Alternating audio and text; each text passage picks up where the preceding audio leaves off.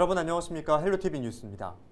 13,012명, 26일 0시 기준 신규 코로나19 확진자 수입니다. 우리나라에서도 오미크론이 우세종이 되면서 확진자 수가 급증세를 보이더니 사상 처음으로 만 명을 넘어섰습니다.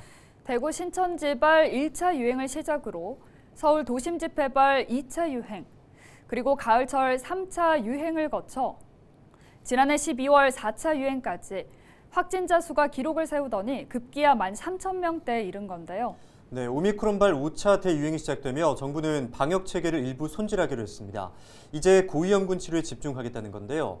일단 오미크론 확산세가 빠른 광주와 전남 등 4개 지역에서는 60세 이상이나 밀접 접촉자 등 고위험군만 PCR 검사를 받게 됐습니다. 그럼 다른 사람들은 자가 검사 키트 등의 간단한 방법으로 검사를 진행한다는 거죠? 네, 그렇습니다. 아, 그리고 자가 격리 방침도 달라집니다. 코로나에 걸렸다고 하더라도 백신 접종을 한 사람이면 7일만 격리하면 되고요. 밀접 접촉자여도 접종을 완료했다면 격리하지 않아도 됩니다. 네, 다음 달이면 확진자가 최대 3만 명 이상에 달할 수 있다는 정부 전망도 있죠. 새로운 방역 체계로 고위험군 집중 관리가 잘 진행됐으면 하는 바람입니다. 헬로티비 뉴스 시작합니다. 전국적으로 코로나19 확산세가 심상치 않습니다. 경남에서도 26일 역대 최다 확진자를 기록했는데 경남의 코로나19 상황 짚어봅니다. 2000년 전 가야 토기 명맥을 이어오고 있는 김해시에서 저렴한 가격에 도자기를 살 수 있는 특별전이 열리고 있습니다. 개통 이후부터 끊임없이 비싼 통행료로 논란을 빚어온 거가대교. 부산시의회 의원들이 거가대교 국도 승격 촉구 건의안을 채택했습니다. 26일 오전 거창군의 한 옷가게에서 LP가스로 추정되는 가스가 폭발했습니다. 70대 가게 주인과 가스 배관 철거 작업을 하던 70대 작업자가 화상을 입고 병원으로 옮겨졌습니다.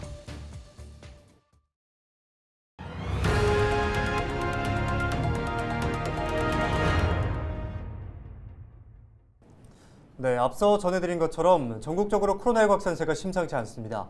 경남에서도 26일 역대 최다 확진자를 기록했는데요. 먼저 화면으로 경남의 코로나19 상황 짚어보겠습니다.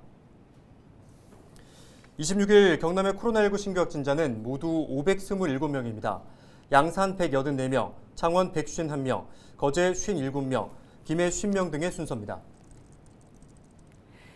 경남에서 500명이 넘은 수치를 기록한 건 코로나19 발생 이후 처음입니다. 자세한 내용 취재 기자와 함께 이야기 좀 더 나눠보도록 하겠습니다. 김수정 기자, 경남의 코로나19 상황을 보면 양산에서 갑자기 확진자가 늘었네요. 네, 그렇습니다. 경남에서는 전날 300명대를 처음 넘어서면서 역대 최다 확진자 수를 보였는데 26일에 다시 그 기록을 갈아치웠습니다. 지역 방송사에서 집계를 할 때 전날 오후 4시 반 이후부터 발생한 숫자를 보는데 그러니까 25일 오후 4시 반 이후부터 26일 오후 4시 반까지 무려 500명이 넘게 확진자가 발생한 겁니다. 특히 25일 밤 사이에 확진자가 쏟아졌습니다. 양산에서 갑자기 많이 나왔는데요. 양산에 있는 체육시설에서 지난 23일 이용자 1명이 증상이 나타나 검사를 했다가 최초로 확진 판정을 받았습니다. 이후에 약 340명이 진단검사를 받았는데 3, 4일 만에 100명에 가까운 확진자가 발생했습니다. 또 학원에서도 종사자 1명이 코로나19 양성 판정을 받았고 계속해서 관련 확진자가 늘고 있습니다. 양산시 방역당국은 심층 역학조사를 벌이고 현재 방역을 완료한 상태라고 밝혔습니다. 시는 교육지원청과 양산학원연합회 등 관련 부서와 간담회를 열고 방역수칙 이행 여부를 오는 28일까지 점검한다는 계획입니다. 추가 확산을 막기 위해 체육시설은 다음 달 6일까지, 관련 학원시설은 다음 달 4일까지 휴업 중입니다. 네, 양산뿐만 아니라 창원에서 거의 200명에 가까운 확진자가 나왔는데요. 아무래도 인구가 많다 보니까 그럴 수 있을 것 같은데 다른 지역의 상황은 어떻습니까? 네, 창원에서는 유흥주점과 의료기관, 다중이용시설 등에서 집단 감염이 발생해 확산세가 이어지고 있는데요. 창원시는 이틀 사이 전체 확진자 가운데 18세 이하가 30% 정도를 차지하고 있다고 밝혔습니다. 확진자는 창원과 양산, 김해, 거제를 중심으로 크게 발생했고 나머지 경남 대부분 지역에서 산발적으로 발생하고 있다고 보면 됩니다. 예. 한편 오미크론 변이가 우세종이 되면서 경남에서도 26일 오후 1시 기준 모두 425명의 누적 확진자를 기록하고 있습니다. 창원이 가장 많고 이어서 김해와 진주 등의 순서입니다. 오미크론 변이가 우세종이 된 지 정말 며칠 만에 확산이 본격화됐잖아요. 정부가 오미크론에 집중 대응하기 위한 방안을 마련했는데 어떤 건지 설명해 주시죠. 네, 정부는 26일부터 오미크론 우세 4개 지역인 광주와 전남, 평택, 안성 등에서 동네 병원과 의원을 중심으로 한 검사와 치료 체계 전환을 시범 시행합니다. 기존 PCR 검사는 60대 이상 고위험군이나 우선 검사 필요군에 집중하고 이외 대상자는 보건소 선별진료소 등에서 신속 항원 검사 방식으로 전환되는 겁니다. 신속 항원 검사에서 양성이 나오면 PCR 검사를 추가로 하는 방식입니다. 경상남도에서는 다음 달 3일부터 시행되고 그에 앞서 이번 주 토요일부터 전국 256개 선별진료소에서 신속 항원 검사가 가능해집니다. 경상남도 방역 당국은 최근 추세를 보면 앞으로 경남에서도 확진자가 더 늘어날 수 있다며 선제적으로 대응하고 이 재택 치료와 신속 항원 검사에 대해서도 도민들에게 상세히 안내하겠다고 전했습니다. 네, 지금까지 김수정 기자와 경남 지역의 코로나19 상황 짚어봤습니다. 도자기를 좋아하시는 분들이라면 이번 소식 관심 있게 지켜보시면 좋을 것 같습니다.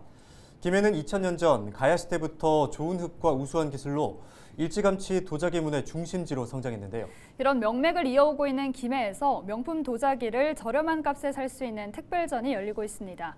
김영민 기자가 소개합니다. 김해 명품 도자기들이 한자리에 모였습니다.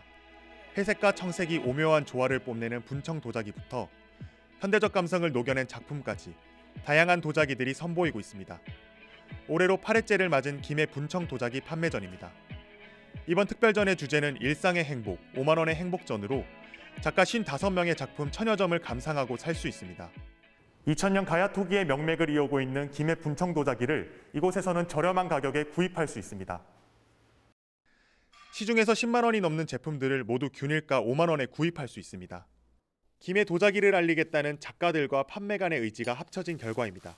이렇게 팔 수 없는 가격인데 저희들이 이제 봉사하는 마음으로 베푸는 마음으로 도민들을 위해서 하는 행사죠.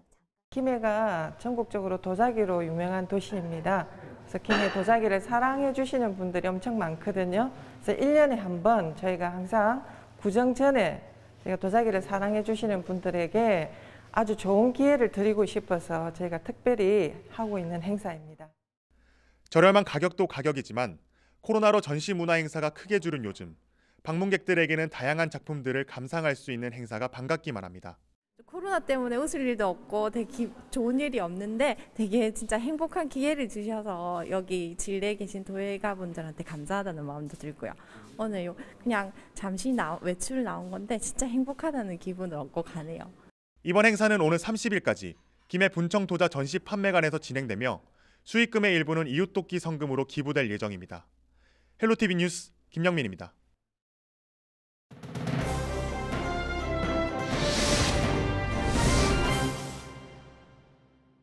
키워드 뉴스 첫 번째 키워드 논란의 거가대교입니다. 경남과 부산을 잇는 광역교통망인 거가대교. 그런데 이 거가대교는 개통 이후부터 끊임없이 비싼 통행료로 논란을 빚어왔는데요. 대체 얼마나 비싸길래 싶을 텐데 일반 승용차 편도 만 원입니다. 특대형 화물차는 편도 2만 5천 원인데요.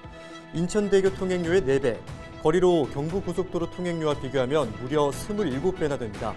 통행량이 감소할 수밖에 없는데요.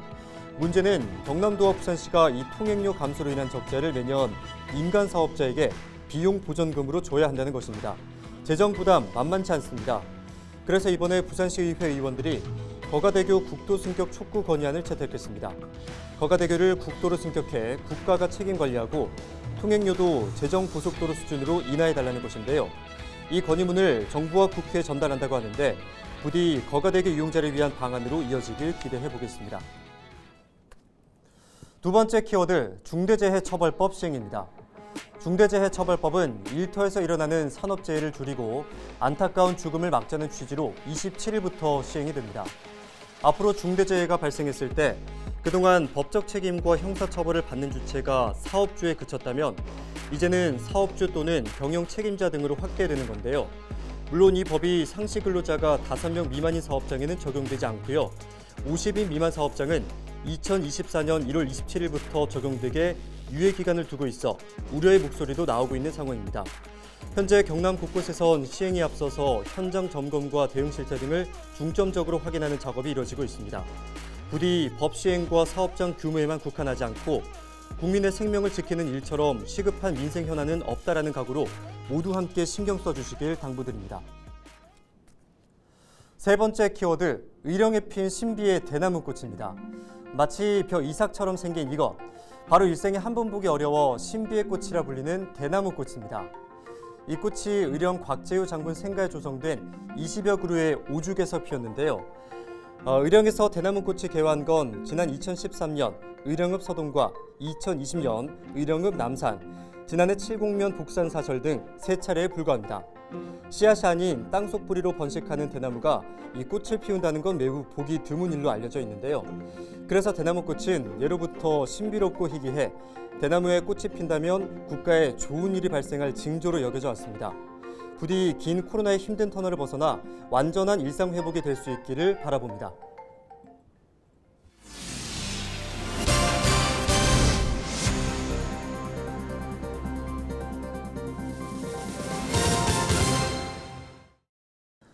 (26일) 오전 (11시쯤) 거창군 중앙리 한 옷가게에서 LP가스로 추정되는 가스가 폭발했습니다. 이 사고로 70대 가게 주인과 가스 배관 철거 작업을 하던 70대 작업자 등 2명이 1도 화상을 입고 병원으로 이송돼 치료를 받았습니다. 소방당국은 폐가스 배관 철거 과정에서 잔류가스가 폭발한 것으로 보고 정확한 사고 원인을 조사하고 있습니다. 미성년자 성추행 혐의로 수사를 받은 50대 간부 소방관이 검찰에 불구속 송치됐습니다. 한 지역 소방서의 A 소방경은 지난해 11월 한 고등학교 운동장에서 미성년자에게 신체적 접촉을 하는 등 추행한 혐의를 받고 있습니다. 경남경찰청은 아동 청소년의 성보호에 관한 법률 위반 혐의로 A 소방경을 검찰에 불구속 송치했으며 경남소방본부는 지난해 12월 A 소방경의 직위를 해제했습니다. 소방본부는 A 소방경의 혐의 사실이 인정되면 별도 징계 절차를 진행할 예정입니다. 양산의 문화교육 허브가 될 양산 복합문화학습관이 내년 3월 준공됩니다. 양산시 동면 금산일 일원에 들어설 복합문화학습관은 총 사업비 324억 원을 들여 지상 4층 규모의 평생학습관동과 공공도서관동으로 지어집니다. 또한 각 건물은 다목적 홀과 강의실, 대강당, 어린이 도서관과 열람실, 일반 자료실 등 기능에 따라 공간이 배치됩니다. 지난 21일 기공식을 연 양산시는 차질 없이 준공한다는 계획으로 이곳이 복합 문화공간으로 자리할 것으로 기대했습니다. 창원시가 부울경 메가시티의 중심이 될 부울경 특별연합 사무소 유치를 선언했습니다. 허성문 시장은 26일 기자회견을 열어 부울경 특별연합 사무소는 도시의 상징성과 지리적 여건, 인프라 등을 갖춘 경남, 그 안에서도 창원 특례시에 설치돼야 한다라고 밝혔습니다. 창원시의 유치 선언으로 창원과 김해, 양산 등 세 개 도시가 부울경 특례연합 사무소 유치 전에 나서고 있습니다. 경남FC가 2022 시즌 서울 이랜드와의 홈 개막전을 창원이 아닌 밀양에서 가집니다.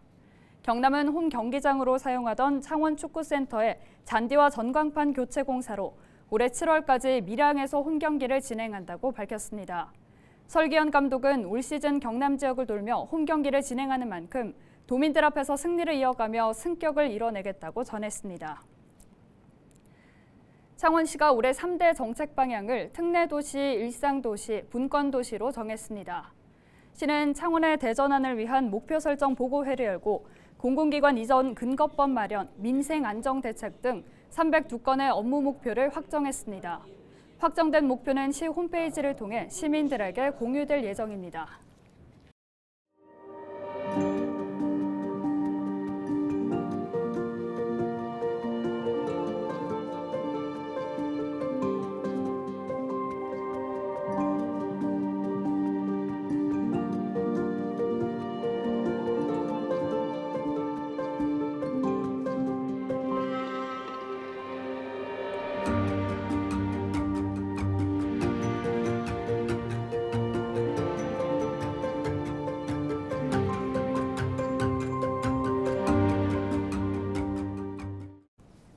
이상으로 뉴스를 마칩니다. 함께해 주신 여러분 고맙습니다.